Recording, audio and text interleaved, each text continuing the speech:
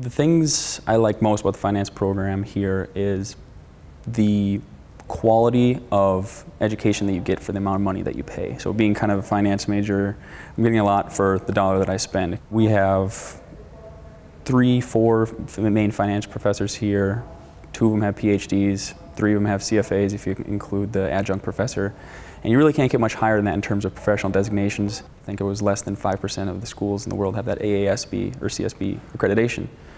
So it's really important for employers and even fellow students who go to different universities. You can say that, and it's a level of, a level of credibility that you have as a student going to school at uh, MSUM. All the faculty, very, very helpful. All You got to utilize their office hours as much as possible. They're very helpful during those office hours. And even if they're not in their office, they're very open to emailing. Even they'll give you their cell phone number every once in a while. You can shoot them a text or call them and schedule a meeting off campus or on campus. The business major has definitely helped when you're looking into managing your own small business or opening up your own investment franchise, being a financial advisor or independent wealth planner or whatever.